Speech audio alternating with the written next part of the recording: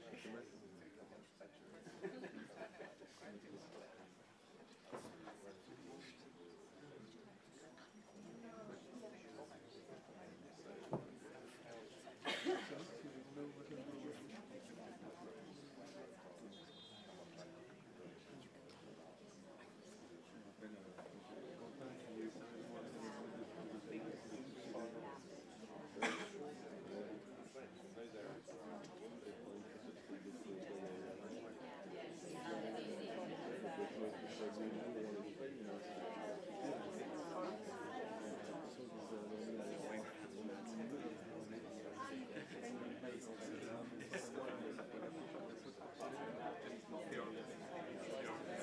cosas que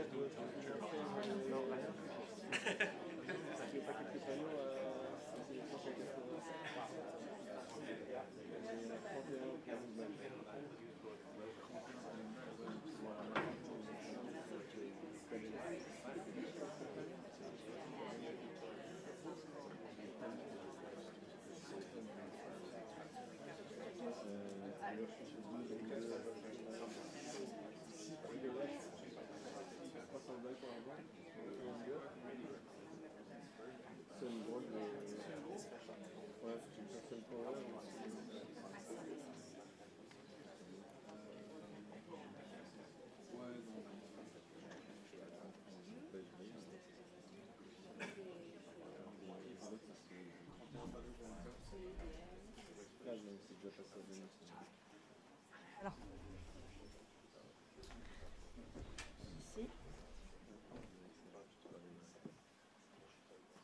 have a.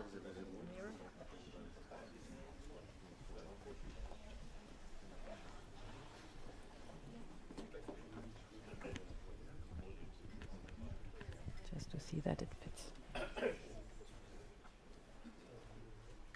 Yeah, does it work? Tone wise? Yeah, Okay. good. All right. Here we go. You don't need a test. Where is the test? Okay, perfect, perfect. Let's go. Wonderful. So, Okay. off we go. Thank you.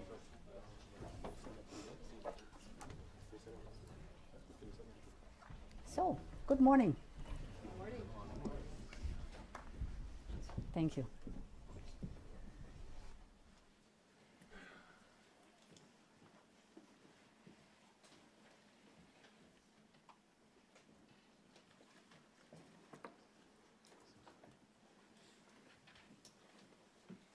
Good morning um, and uh, welcome to this event on EU-China relations with the President of the European Commission, uh, Ursula von der Leyen.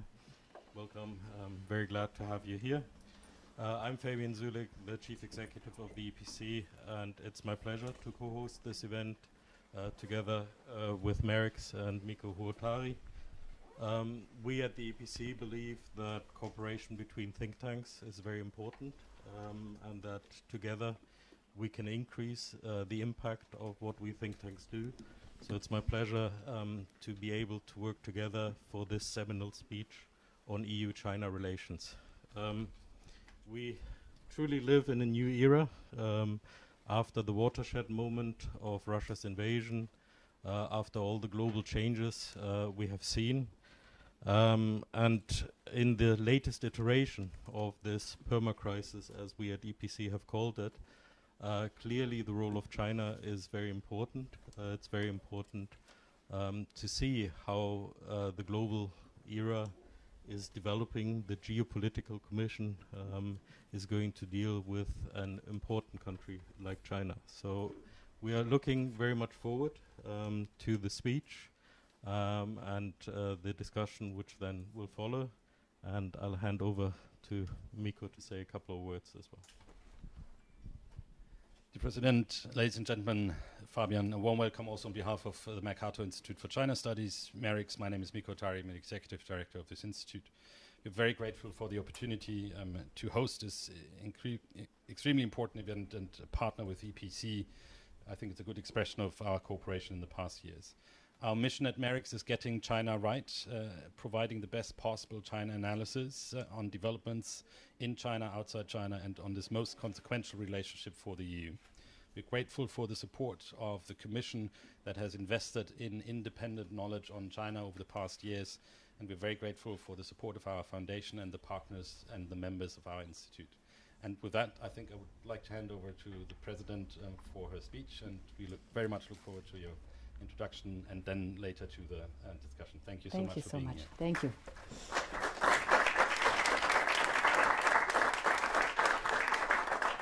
Thank you very much, ladies and gentlemen. It's a real pleasure to be here at this very special event, co hosted by two of Europe's most knowledgeable and independent minded think tanks. In a time when global affairs are becoming harder to decrypt, and in an era where facts are routinely challenged, the work that you do at these think tanks has never been more important for Europe. Because it is only by having a deeper understanding of the world as it really is, not as we may wish it to be, that we can develop better informed policies. And this is why I believe think tanks are an essential part of our democracy.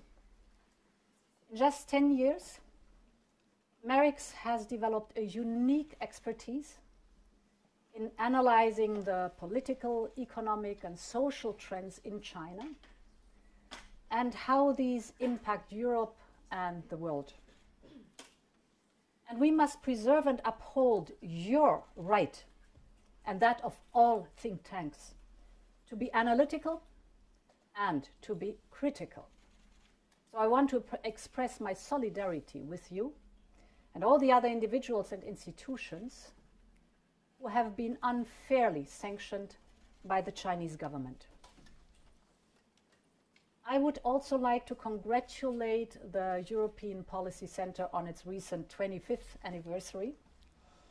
From the outset, you have been a truly European voice in the world of policy and academia.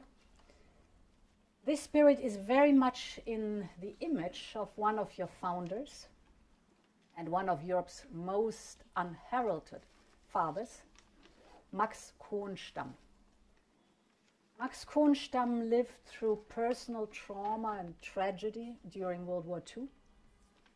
And this experience inspired him to dedicate his life to building a united Europe.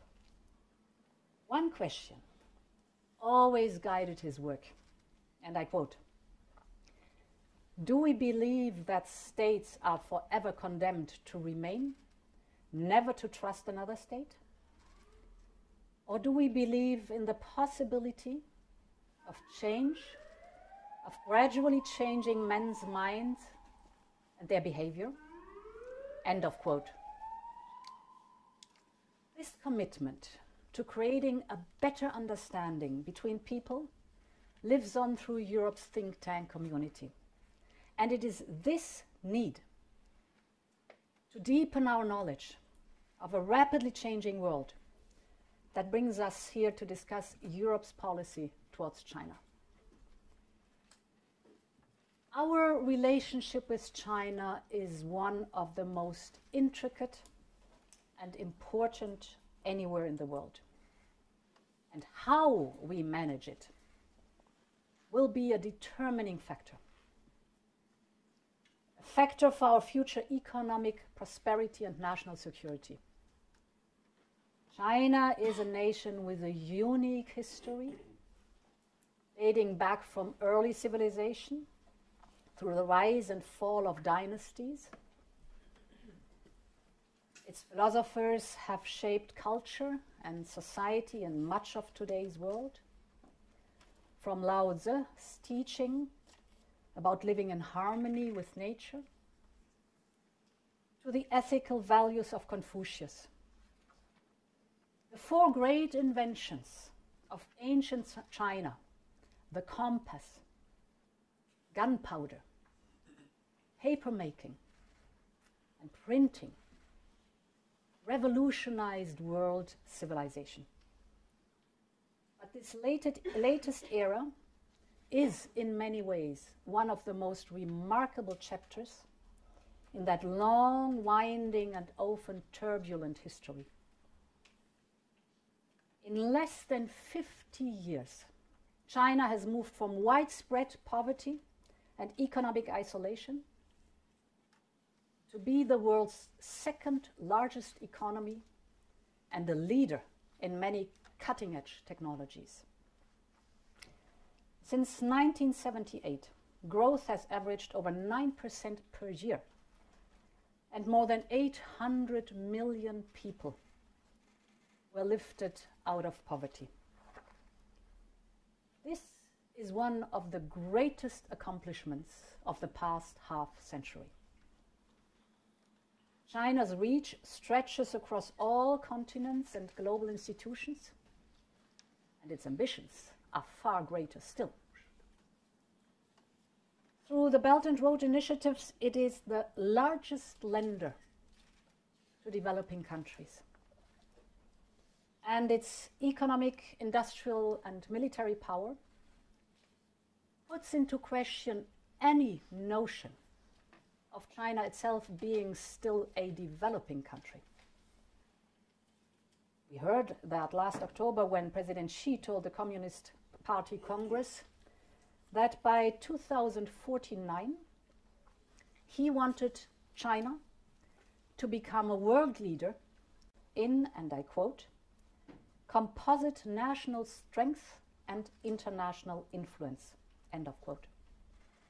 Or to put it in simpler terms, he essentially wants China to become the world's most powerful nation. Given its size and global influence, it is positive that China's economy has eventually reopened after COVID.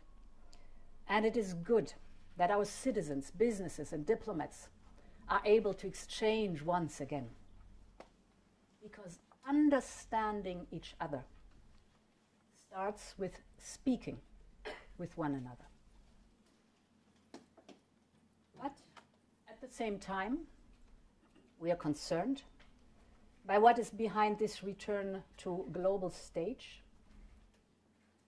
defining a European strategy towards China, defining what success looks like, must start with a sober assessment of our current relations and of China's strategic intentions.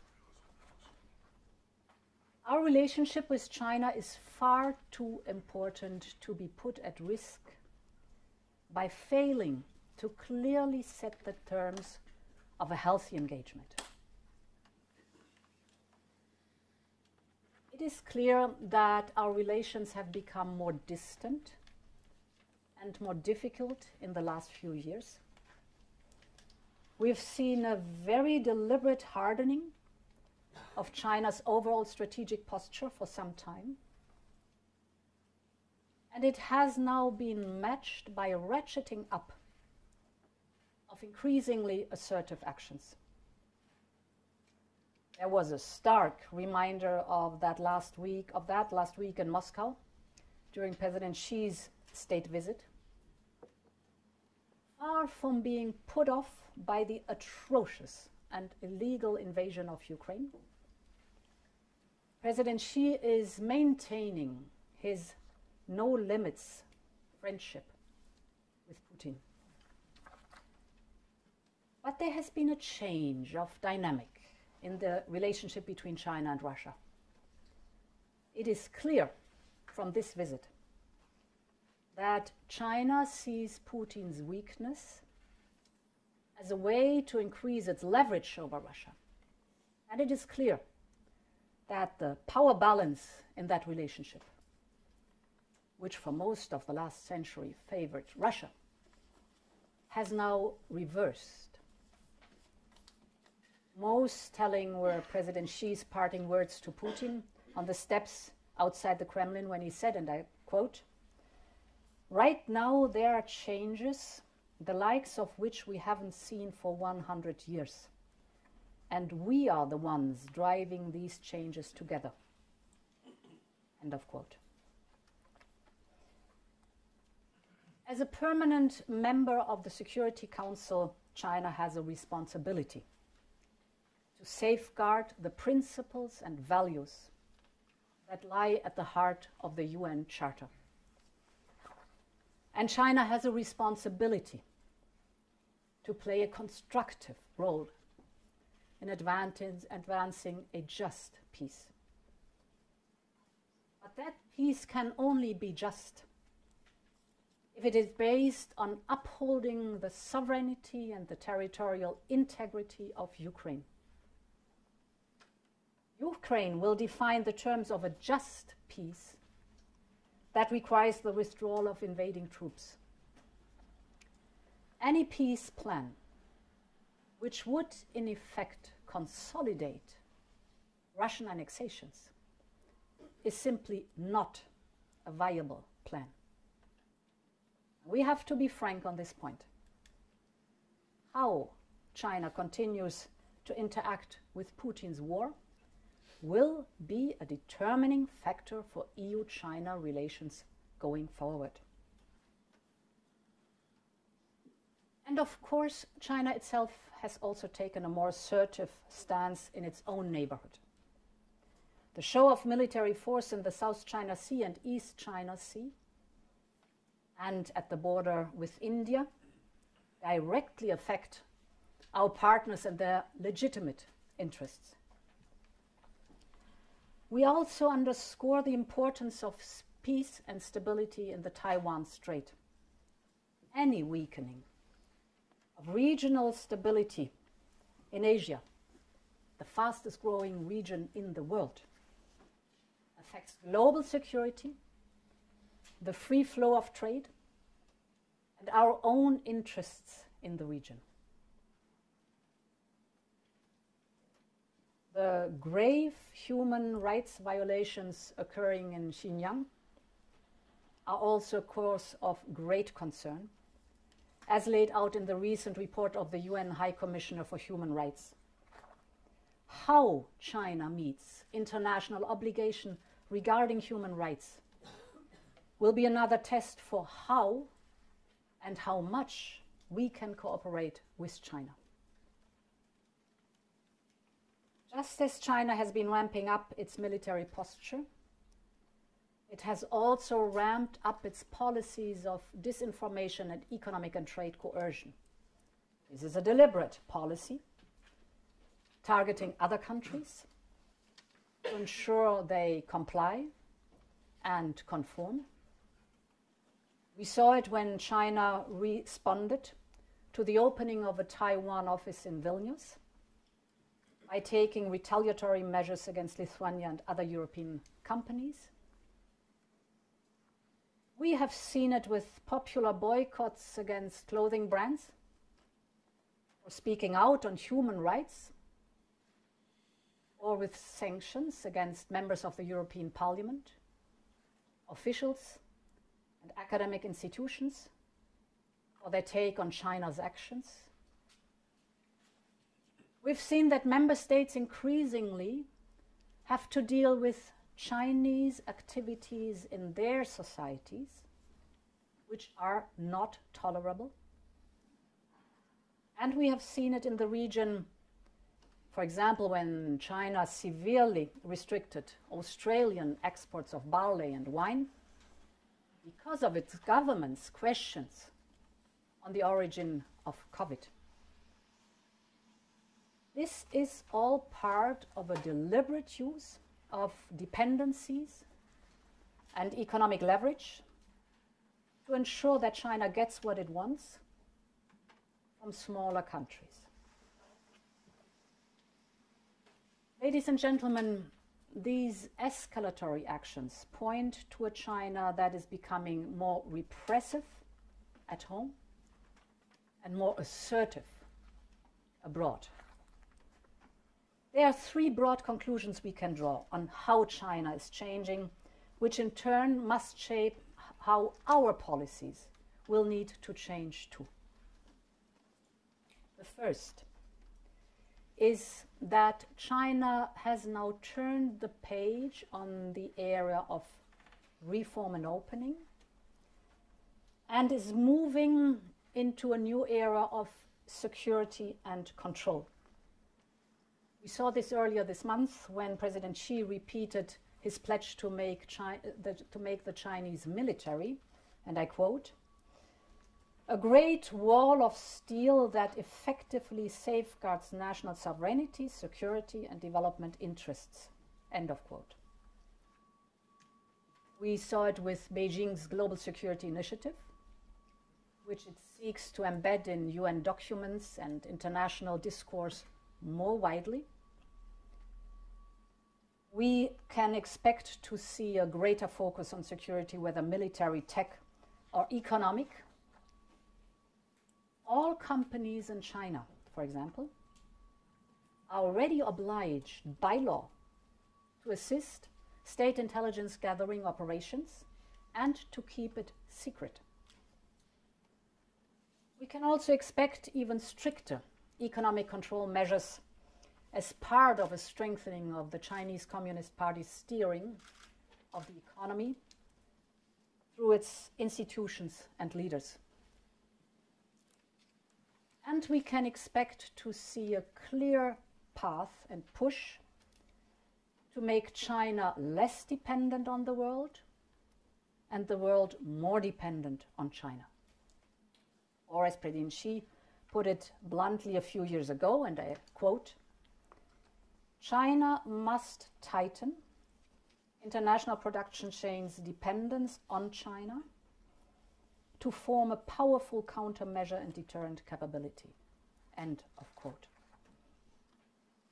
This is especially true when it comes to critical raw materials like lithium or cobalt, for sectors like high speed rail and renewable energy technology, or for emerging tech that is central to future economic and national security, like quantum computing or robotics and artificial intelligence.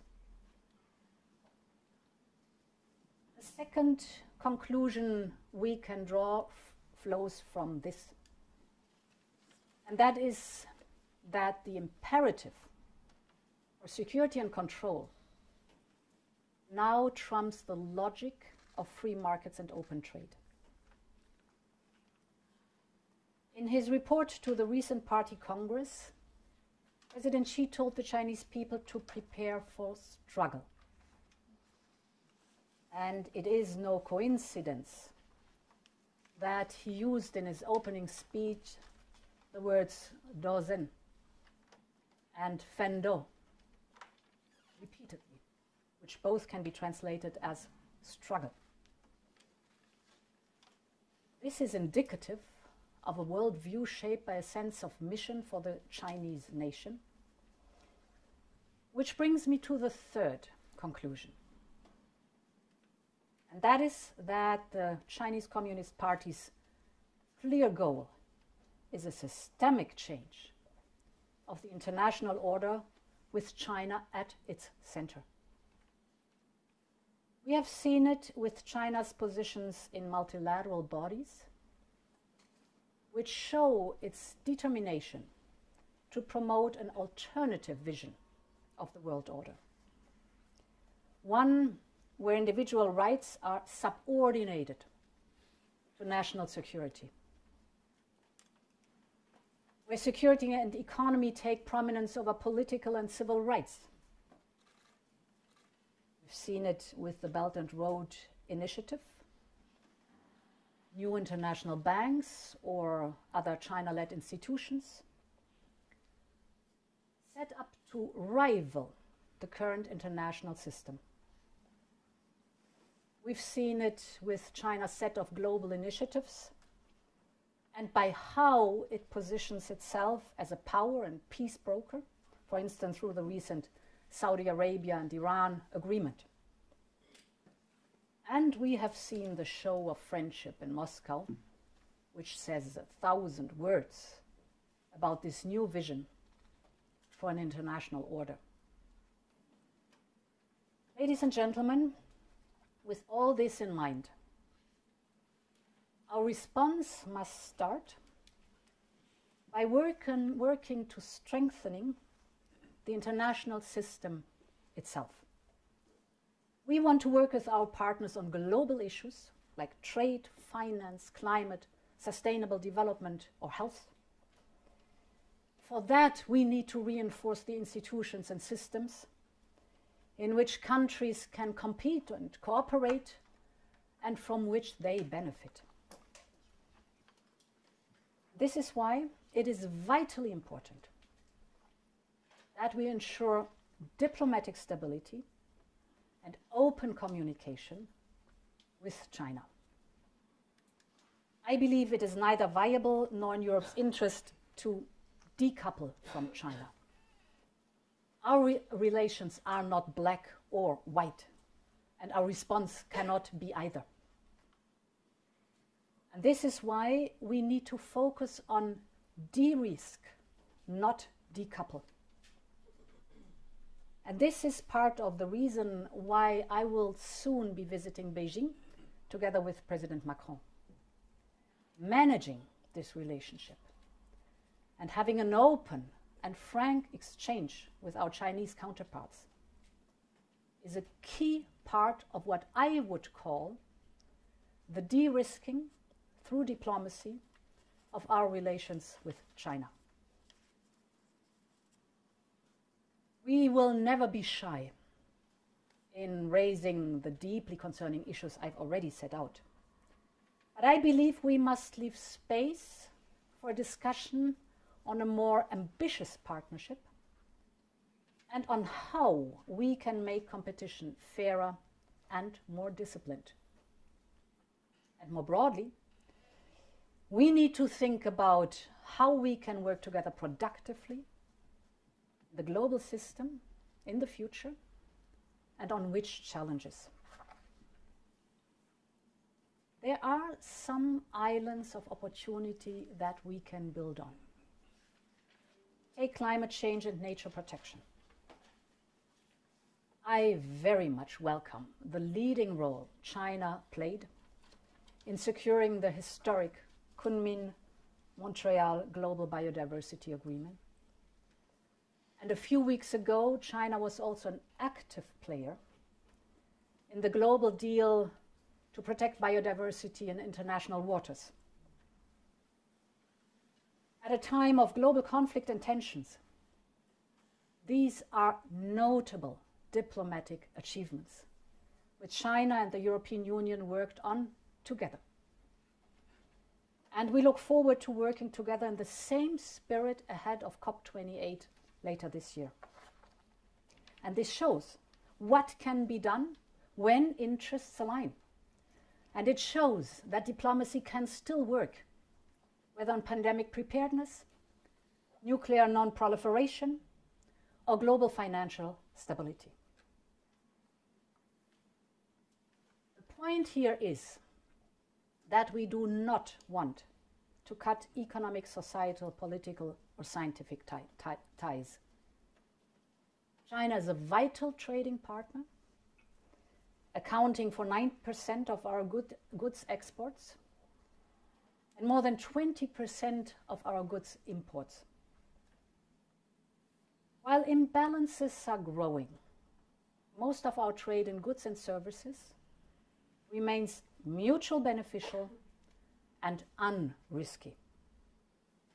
But our relationship is unbalanced and increasingly affected by distortions created by China's state capitalist system. So we need to rebalance this relationship on the basis of transparency, predictability, and reciprocity. We have to ensure that our trade and investment relations promote prosperity in China and in the European Union. The Comprehensive Agreement on Investment, the so called CAI, for which negotiations concluded in 2020, aimed at such rebalancing. But we have to recognize that the world and China have changed significantly in the last three years. And we need to reassess the CAI in light of our wider China strategy. And we know there are some areas where trade and investment poses risks to our economic and national security, particular, particularly in the context of China's explicit fusion of its military and commercial sectors. This is true for certain sensitive technologies, dual use goods, or even investment which comes with forced technology or knowledge transfers. This is why, after de risking through diplomacy, the second strand of our future China strategy must be economic de risking. The starting point for this is having a clear eyed picture on what the risks are. That means recognizing how China's economic and security ambitions have shifted. But it also means taking a critical look at our own resilience and dependencies, in particular within our industrial and defense space. This can only be based on stress testing our relationship to see where the greatest threats lie concerning our resilience, long term prosperity, and security. And this will allow us to develop our economic de risking strategy across four pillars. The first one is making our own economy and industry more competitive and resilient. This is particularly the case when it comes to health, digital, and the clean tech sector. If you look at the global market for net zero technologies, it is set to triple by 2030. Triple. Our ability, ability to remain front runners in this sector will shape our economy for the decades to come. This is why you all know it, just last week we put forward the Net Zero Industry Act as a key part of our Green Deal industrial plan. The aim is to be able to produce at least 40% of the clean tech that we need for the green transition, such as solar, onshore and offshore wind, renewable energy in the broadest sense, batteries and storage, heat pumps and grid technologies. But to achieve this goal, we will also need more independence and diversity when it comes to the key inputs needed for our competitiveness. We know this is an era where we rely on one single supplier, China. For 98% of our rare earth supply. 93% of our magnesium, 97% of our lithium, just to name a few. We are deeply mindful of what happened with Japan's imports of rare earths from China a decade ago, when foreign policy tensions between the two in the East China Sea became, became acute our demand for these materials will skyrocket as the digital and the green transition speed up. Battery powering our electric batteries that are powering our electric vehicles are forecasted to drive up demand for lithium by 17 times by 2050. This is why we have put forward the Critical Raw Materials Act to help diversify, and secure our supply. And we need to think about this right across our single market to strengthen our resilience on cyber and maritime, space and digital, defense and innovation. The second part of this de risking strategy is better using our existing toolbox of trade instruments. Over the last past years, we've put in place measures to address security concerns, whether on 5G, the foreign direct investment, or export controls. We have given ourselves the tools to counter economic distortions, notably through the foreign subsidies regulation, as well as the new instrument to deter economic coercion. We now need the unity at EU level for bolder and faster use of those instruments when they are required, and a more assertive approach to enforcement. My third point China's changing policies may require us to develop new defensive tools for some critical sectors. The European Union needs to define its future relationship with China and other countries in sensitive, high tech areas, such as microelectronics, quantum computing, robotics, artificial intelligence, biotech, you name it. Where dual use purposes cannot be excluded or human rights might be implicated, there will need to be a clear line on whether investments or exports are in our own security interest. We need to ensure that our companies' capital, expertise, and knowledge are not used to enhance the military and intelligence capabilities of those who are also systemic rivals. So we have to look at where there are gaps in our toolbox which allow the leakage of emerging and sensitive technologies through investments in other countries. And this is why we're currently reflecting on if and how Europe should develop a targeted instrument on outbound investment.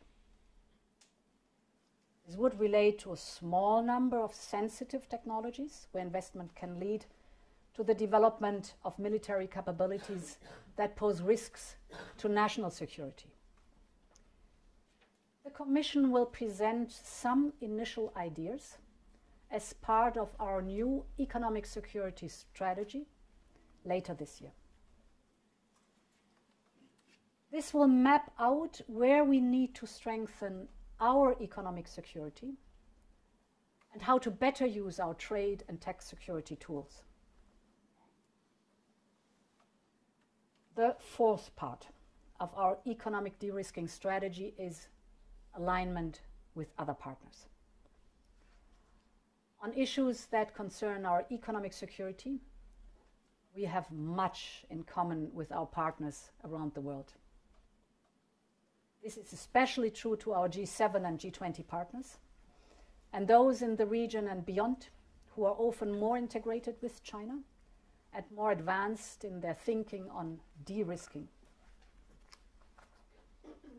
As part of this, we will focus on free trade agreements where we do not yet have them, such as with New Zealand, Australia, India, our ASEAN and Mercosur partners, on modernizing agreements where we have them, such as Mexico and Chile, and on better using the others that already exist. We will enhance cooperation on sectors such as digital and clean tech through the Trade and Technology Council with India or the EU Japan Green Alliance.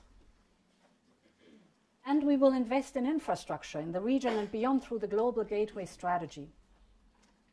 We are offering developing countries a genuine choice when it comes to infrastructure investment and finance. And all of this will help strengthen our supply chain resilience and diversify our trade, which must be a central element of our economic de risking strategy. Ladies and gentlemen, we have in front of us a task to refocus on the most important issues. It is a reflection of the need to adjust our strategy in line with the way the Chinese Communist Party seems to be changing. But if we are to manage this relationship, to prepare for the future, we must do it together. At this defining moment in global affairs, we need the collective will to respond together. A strong European China policy relies on strong coordination between member states and EU institutions, and a willingness to avoid the divide and conquer tactics that we know we may face. But I also want to say that nothing is inevitable in geopolitics. China is fascinating and a complex mix of history, progress, and challenges. And it will define this century. But our story about how we relate to China is not yet fully written. And it need not be a defensive one. We must collectively show that our democratic system our values and our open economy can deliver on prosperity and security for people. And at the same time, we must always be ready to talk and work with those who see the world differently. Which brings me back to where I started and Max Kohnstamm's line about working to gradually change minds and action. This is what you do every single day in your work, and this is what Europe will always believe in. Long live Europe, and many thanks for your attention. Thank you. Dankeschön.